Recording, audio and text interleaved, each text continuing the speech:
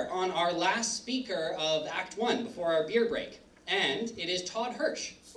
Todd is Todd is uh, ATB's uh, financial chief economist, uh, but by night, uh, and mostly by day as well, he's an idea instigator. Uh, he's lived in, in Alberta his entire life, and though uh, the last 27 of that life has been right here in Calgary. Todd recently released his second book entitled Halfway Home and is working on his third, The Slacker, which will be released in January. Please welcome Todd.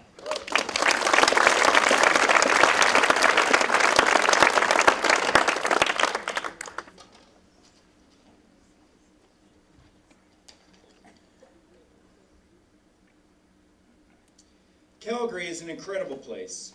The Economist magazine just named it in the top five most livable cities in the world. Still, I want us to topple some of our notions of urban aesthetics. In the words of Churchill, we shape our buildings, they, thereafter they shape us. A few years ago, I had the chance to visit Valencia, Spain. The city is home to incredible art, culture, architecture, and food. In addition to classic old buildings dating back centuries, it also featured dazzling modern architecture, like this striking building by architect Santiago Calatrava.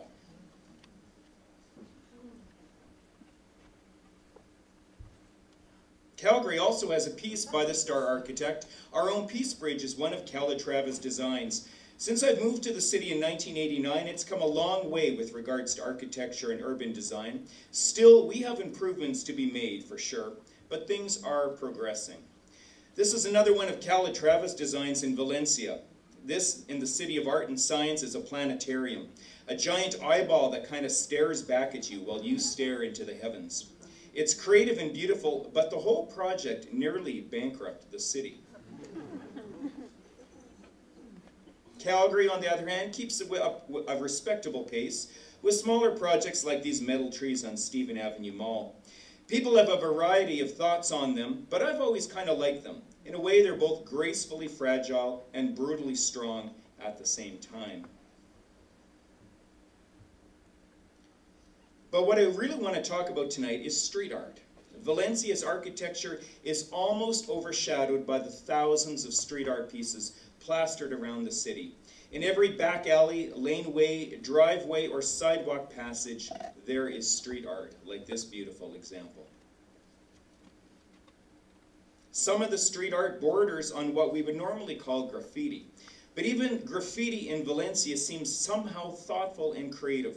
It is less vandalism and more design. Vibrant colors and vivid images covered almost every vertical surface. It's like a living, breathing museum. I spent an entire afternoon one day just wandering around the neighborhoods of Valencia taking pictures. This was one of my favorites. It took something dull and ugly, a plain old metal garage door, and covered it with something beautiful, playful, and interesting. Valencia, and many other cities around the world for that matter, have street art in their veins. It isn't commissioned by an arts council or organized in a way that we Canadians would like to have it. It's organic. Street art just happens spontaneously, and it's amazing when it does. Calgary has a tradition of street art as well. But as you can see, it's different.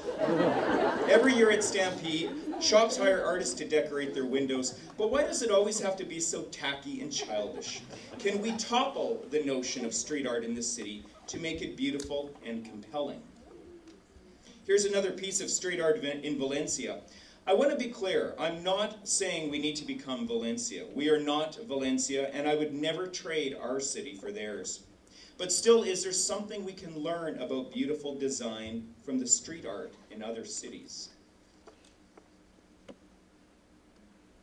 Street art that perhaps flirts with our sense of vandalism can be, if done well, still beautiful.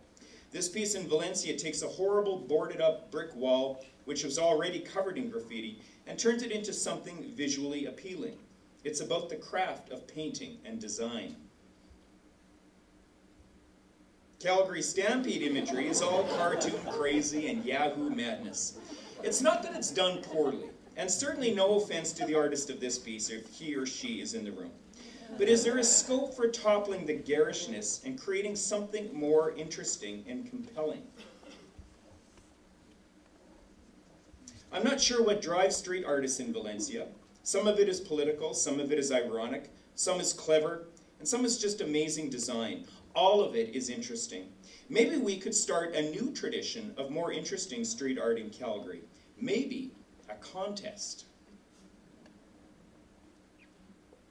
Because really, is this the very best we can do? Particularly when, when we fancy ourselves as a world-class city. Maybe businesses could start a competition. Hire ACAD or University of Calgary art students to design and paint original pieces on their windows. We'd turn downtown into an art hall. After all, we do have plenty of glass street front windows in this city. Could we turn them into blank canvases, at least during Stampede?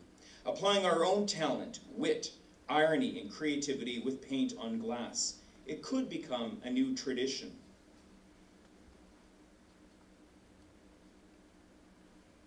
Back in Valencia, I don't think the artists do it as any sort of competition, and I really doubt they get paid. It just seems to be more of a social license with citizens and building owners.